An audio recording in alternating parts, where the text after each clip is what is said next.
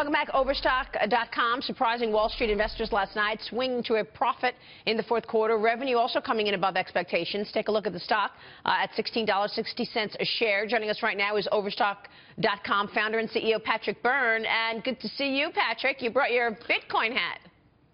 Good to be seen, Maria. Great. Yes, thanks for having me on.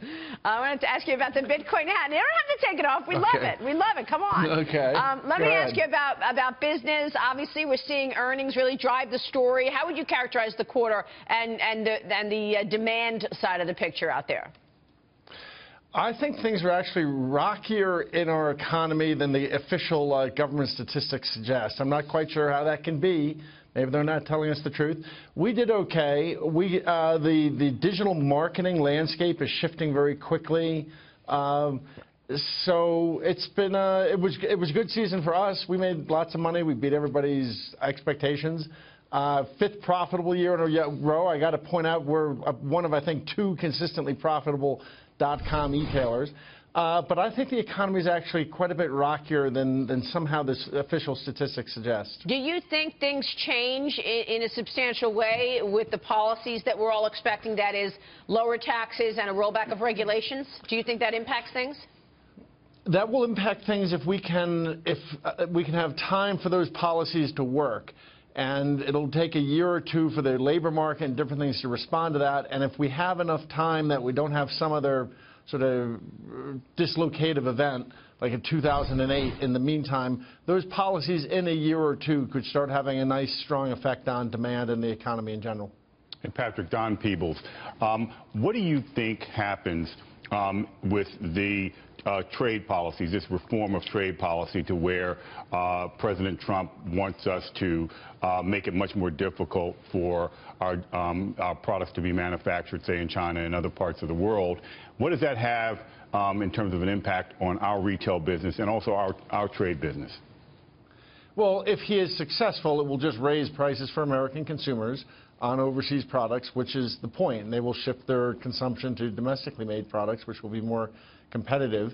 It's kind of odd because here the United States has, since World War II, been banging down the doors of the world, creating this global order, telling people that they've countries they've got to be open to free flow of goods and capital and often people. And here we are the ones, you know, other other countries have been cleaning our clocks, and know, I'm not sure they don't deserve to. I was just in Singapore where the folks work 60-hour weeks and they save 40% of what they make, and the kids go to school on Saturday. I'm not sure why they we don't expect them to win overtime.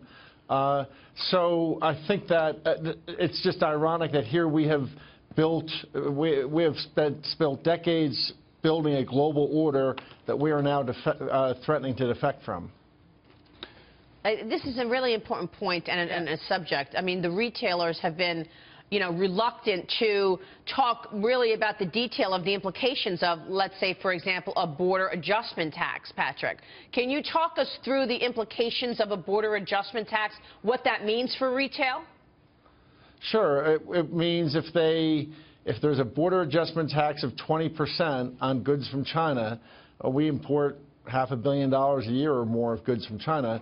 The price of those that we will charge our consumers will have to go up 20%. But, you know, we have a very agile, 95% of our products we don't touch. We're not like a big box where you've got these big supply chains. Our supply chain's all photons and electrons. So it just means that, you know, we have other suppliers of those products. They'll be that are domestic and those products will suddenly look more competitive. So and for a company like ours, it's very easy for our supply chain to be agile and shift around in response to these kinds of policy changes. It's going to be much more difficult for brick and mortar retailers with big fixed supply chains back to Asia to be agile and respond. Our, our stuff will just sort of shift automatically as consumers change their behavior. Okay. So you've said that you don't think that Donald Trump is a real businessman. Um, tell me what you think about his policies now. Do you still do you still think that? Do you think he's going to be business friendly? Well, I did say that. That was during the election. A lot of things get said. I, you know, I, I saw him during the election as a Kim Kardashian that got it. You know, Kim Kardashian made hundreds of millions of dollars on reality TV. I didn't want her to be president either. But he got elected fair and square, and I actually I'm one of those few, I guess, who feel just. I was actually on Fox the night Barack Obama got elected, and I told everybody on Fox that night, you know, he, he didn't elect himself, he got elected, and I think we owe him a chance. I think that.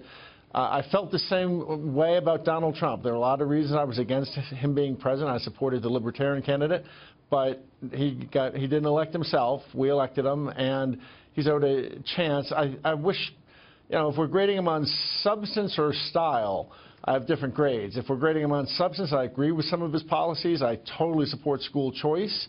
Uh, I love the Neil Gorsuch and the idea that we'll have 107 vacancies in the federal judiciary filled by 107 clones Yeah.